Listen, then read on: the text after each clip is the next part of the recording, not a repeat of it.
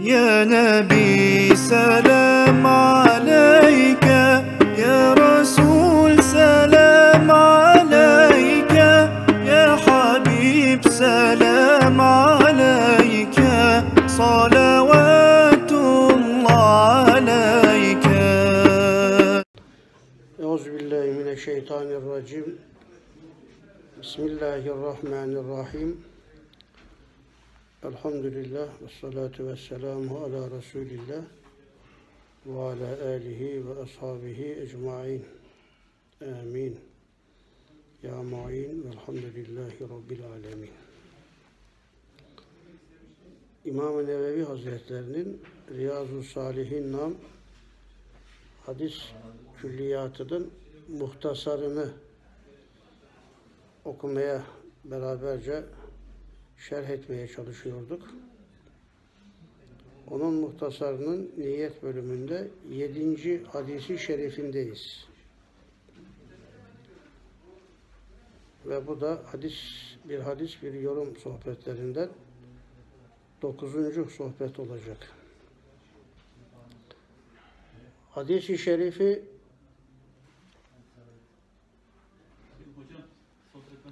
Hadis-i şerifi Buhari ve Müslim beraberce rivayet ediyorlar. Rivayetin başında Ebu Musa Musa Abdullah İbni Kays el-Eş'ari Hazretleri var. Kısaca buna Ebu Musa el-Eş'ari Hazretleri de denir. Niyetle alakalı çok önemli hadis-i şeriflerden bir tanesidir bu. Ebu Musal Eş'ari Hazretleri diyor ki Kale ile Resulullah sallallahu aleyhi ve sellem anir racülü yukatilu şecaaten ve yukalu hamiyeten ve yukatilu hamiyeten ve yukatilu riyaen eyyü zâlike fî sebîlillah Fakala Resulullah sallallahu aleyhi ve sellem Men katele litekûne kelimetullahi hiyel ulye fehüve fi sebilillah. Resulullah Aleyhisselam'a bir adam geldi ve sordu ya Resulallah bir adam var ki şecaat için harp ediyor. Cihada kendi şecaatini, kahramanlığını göstermek için girmiş. Maşallah ne cesur adam, ne kahraman, ne yiğit adamlar desinler diye harbe katılmış cihada. Bir adam da var ki hamiyeti için yani ırkçılığı, kendi milleti için. Kendi kavim ve kabilesini kahraman göstermek için harbe katılmış. Bir adam da var ki riya olsun diye gösteriş için harbe katılmış. Bunlardan hangisi Allah yolundadır? Bunun yaptığı, bunlardan hangisinin cihadı Allah yolundadır? Rıza ilahiyeye muvafıktır. Kale Resulullah sallallahu aleyhi ve sellem Efendimiz aleyhisselam buyurdu ki men katele litekûne kelimetullahi hiyel ulya fehuve fî sebilillah kim ki i'la-i kelimetullah için cihat ederse işte o Allah yolundadır. Mevzu niyetle alakalı yine ve insanın niyetine göre sonucu elde ettiği hususuna dikkat çekiliyor. Kahramanlık için harbe girenler Allah yolunda değildir. Ölse de şehit olmaz hamiyeti için, kendi ırkı için cihat edenler eğer orada ölürse şehit olmaz. Ve riyakarlık olsun diye eğer harbeder, cihada katılır ve ölürse o da şehit olmaz. Bunların hepsi bağışlayın, pisi pisine gitti hesabıyla öbür aleme gider. Sadece i'la-i kelimetullah için Allah yolunda cihat eden kimseler o günkü manasıyla maddi cihat. Bugünkü manasıyla manevi cihat, fikri cihat. Kur'an-ı Kerim'de İslam'ın dava cephesiyle alakalı ifade edilen 20 kadar farklı tabir vardır. Her tabirin de kendi içinde tekrarları vardır. Kur'an-ı Kerim'de İslam'ın dava cephesiyle alakalı ifade edilen tabirlerin bileşkesine biz hizmet diyoruz. İsterseniz buna i'lâi kelimetullah diyebilirsiniz. Allah'ın adı zaten yüce. Tebareke ve Teala diye ifade edilir ayet ve hadislerde. Tebareke ve Teala yüce Allah. Büyük Allah. Allah kelimesi zaten çok yüce. Ama biz de onu insanların nazarında da yüce olsun. Herkes duysun diye o yolda gayret sarf etmeye de i'lai kelimetullah denir. Bu mevzuda hatırlarsanız bir kitap da var. İlahi Kelimetullah veya Cihat diye bir kitap da var. Kitabın adı İlahi Kelimetullah. Cenab-ı Hakk'ın, Hakk'ın yüce ve yüksek adının yeryüzünde bayraklaştırılması.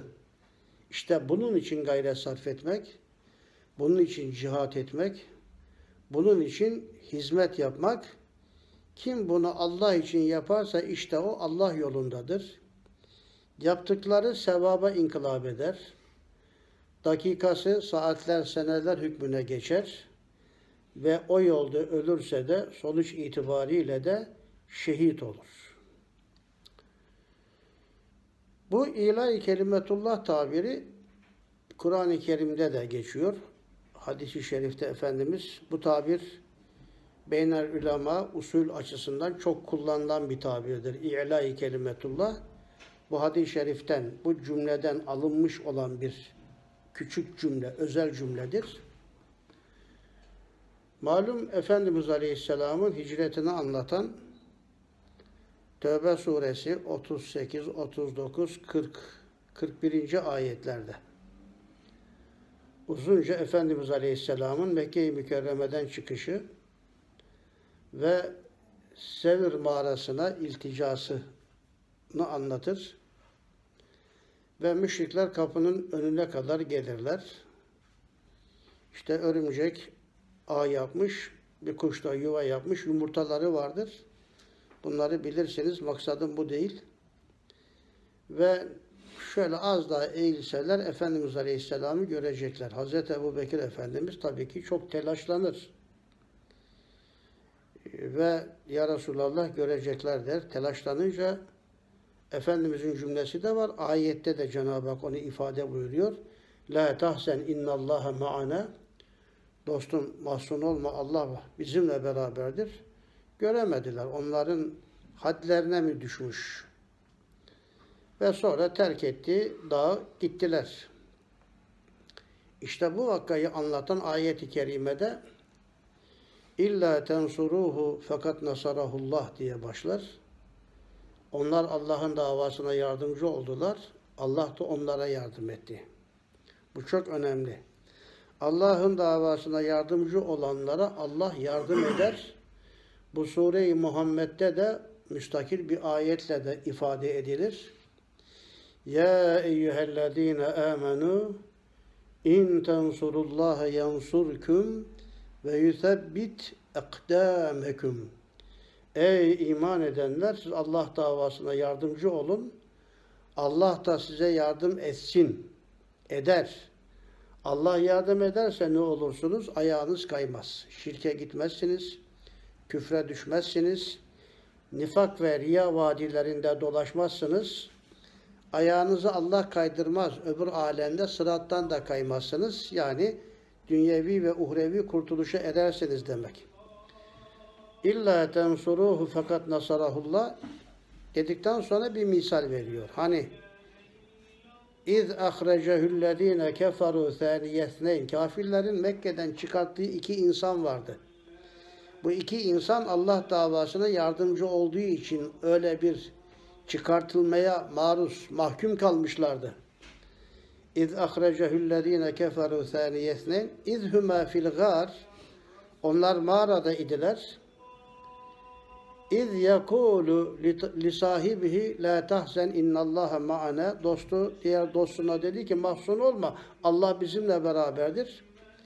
Şimdi bundan sonra ve eyyedehu bi cunudin lem teravhe Allah onların da göremedikleri ordularla o iki kişiyi teyit etti, destekledi.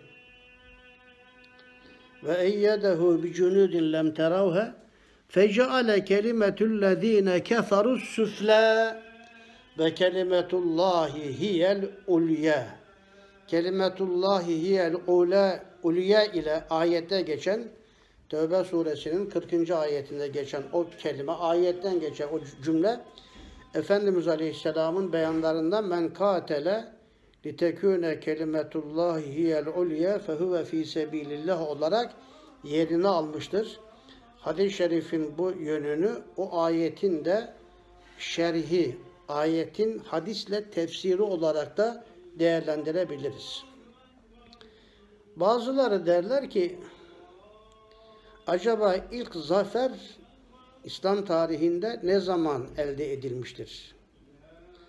Pek çoklarına göre bu Bedri Kübra'da elde edilmiştir. Düşmanlar mağlup olmuşlar, hezimete uğramışlardır.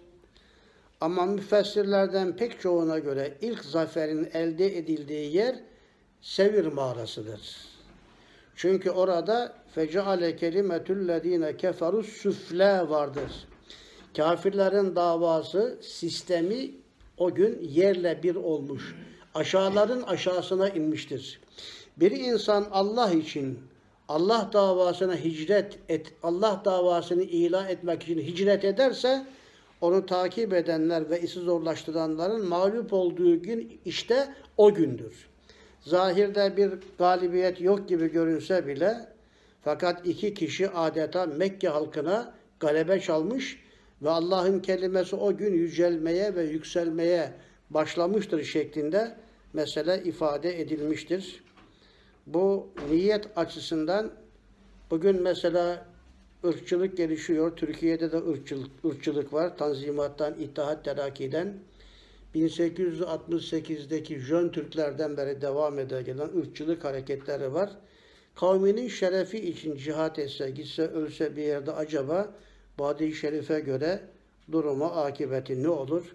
Şecaat için değil, hamiyet için değil, ırkı için değil, riyakarlık olsun diye değil, sadece ve sadece i'lâ-i kelimetullah yolunda cihat edenlerin, hizmet yapanların makbul olacağını, rıza ilahiyeye muvafık olacağını Efendimiz Aleyhisselam ifade ediyor burada. Bu mevzunun misalleri de var aslında. Çok daha genişçe anlatılabilecek misalleri de var. Alttaki bir hadis-i şerifi de hemen süratlice okumak istiyorum. Ebu Bekre Nüfey İbni Haris Es-Sakafi naklediyor. Bu hadis-i şerifi de yine Buhari İman'da Müslim Kasame bölümünde nakletmiş. Ennen Nebiye sallallahu aleyhi ve sellem kale İzel takal müslimine bi seyfihime fel katil vel maktul finnâr. Kultu ya Resulallah hâzel katilu femâ bel el maktul innehu kâne harisan ala katli sahibihi fesadaka Resulullah sallallahu aleyhi ve sellem Efendimiz Aleyhisselam iki Müslüman birbirine kılıç çekmiş. Katil de maktul de cehennemdedir buyuruyor. Çarpışan iki Müslüman ister menfaat için isterse cihat, hizmet, iştahat farklılığından kaynaklanan cihat için çarpışıyor olsun.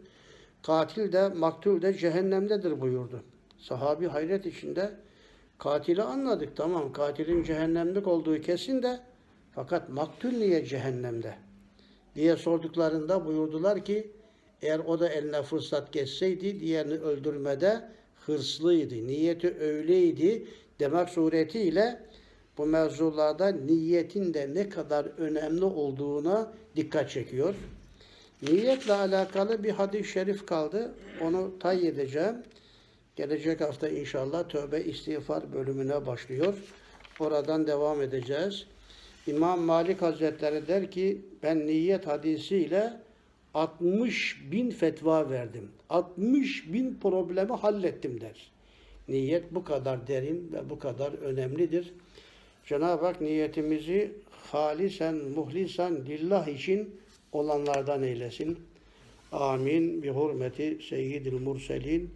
Velhamdülillahi Rabbil alemin.